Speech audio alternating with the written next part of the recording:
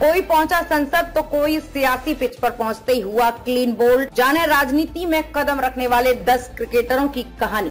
आप देख रहे हैं द खबरदार न्यूज़ ये न्यूज़ चैनल नहीं, आपकी आवाज़ है।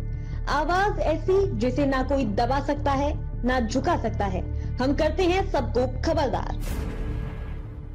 कोई पहुँचा संसद तो कोई सियासी पिच पर पहुँचते ही हुआ क्लीन बोल्ड जाने राजनीति में कदम रखने वाले 10 क्रिकेटरों की कहानी। क्रिकेटरों का राजनीति में आना आसान है, लेकिन सियासी पिच पर टिके रहना काफ़ी मुश्किल। कई दिग्गज क्रिकेटरों ने राजनीति में हाथ आजमाए।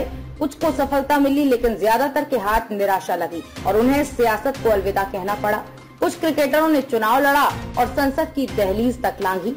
जाने राजनीति में आने वाले 10 क्रिकेटरों की कहानी। राजनीति और क्रिकेटरों का नाता काफ़ी पुराना है। क्रिकेट से अलविदा लेने के बाद कई दिग्गज क्रिकेटर सियासी पिच पर उतर चुके हैं। इनमें से कई को सफलता मिली और कई क्रिकेटरों को राजनीति रास नहीं आई और उन्होंने अपनी राह ही बदल ली। क्रिकेट की पिच पर चौके छक्कों की बारिश करने वाले कई क्रिकेटर सियासी पिच पर क्लीन बोल्ड भी हो चुके हैं।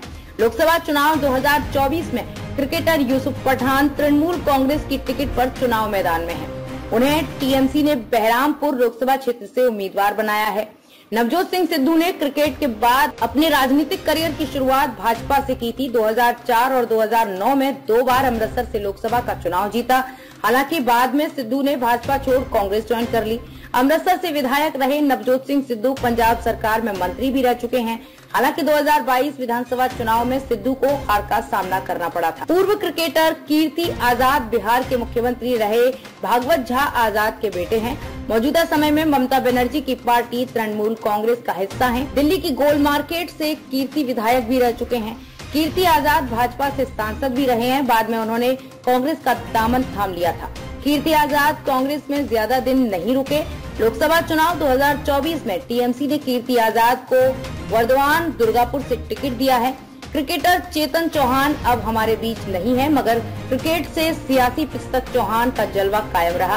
उन्नीस सौ उनहत्तर में न्यूजीलैंड के खिलाफ डेब्यू करने वाले चेतन चौहान दो बार उत्तर प्रदेश के अमरोहा लोकसभा सीट से भाजपा सांसद रहे। 2017 में वो नौगांव सादात विधानसभा क्षेत्र से विधायक बने थे। इसके बाद चेतन चौहान को योगी आदित्यनाथ कैबिनेट में जगह मिली। पूर्व क्रिकेटर मोहम्मद अजहरुद्दीन ने 2009 में कांग्रेस का दामन थामा था। 2009 लोकसभा चुनाव में उत्तर प्रदेश की मुरादाबाद लोकसभा सीट से पहली बार चुनाव जीता। इसके बाद 2014 में टोंक सवाई माधोपुर से चुनाव लड़े, लेकिन सफलता नहीं मिली। पिछले साल मोहम्मद अजरुद्दीन हैदराबाद की जुबली हिल्स क्षेत्र के विधानसभा चुनाव भी हार चुके हैं। पूर्व क्रिकेटर गौतम गंभीर ने 22 मार्च 2019 को भाजपा का दामन थामा था। भाजपा ने गौतम गंभीर को पूर्व दिल्ली लोकसभा सीट से 2019 लोकसभा चुनाव में उतारा था। गौतम गंभीर ने आप नेता आतिशी सिंह और कांग्रेस नेता अरविंदर सिंह लवली को हराया था। हालाँकि लोकसभा चुनाव 2024 से ठीक पहले गौतम गंभीर ने राजनीति से संन्यास का ऐलान कर दिया है।